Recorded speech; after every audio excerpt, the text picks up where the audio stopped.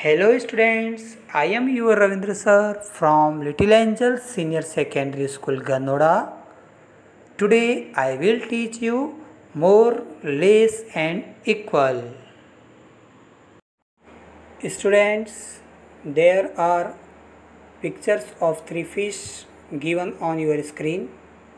Look at the first fish. There are given two numbers 20 and 23 fish opens its mouth towards 23 because 23 is more than 20. In other words, we can say 20 is less than 23. Now, look at the second fish. There are given two numbers 35 and 30.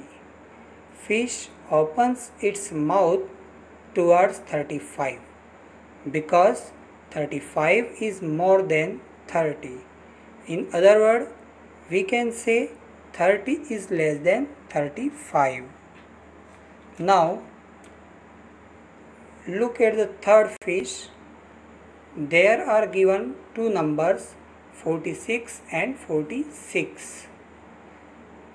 Fish does not open its mouth because both are equal numbers.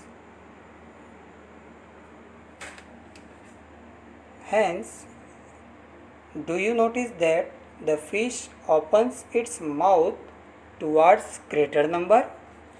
Yes. Now we will read this number with given symbol 20 is less than 23 35 is more than 30 and 46 is equal to 46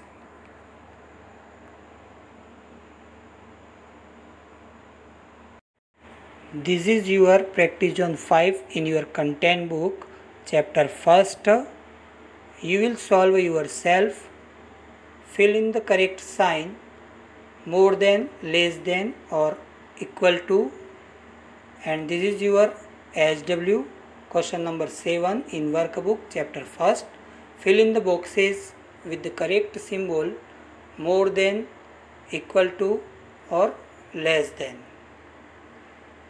You will complete your homework and send me its photo on my number.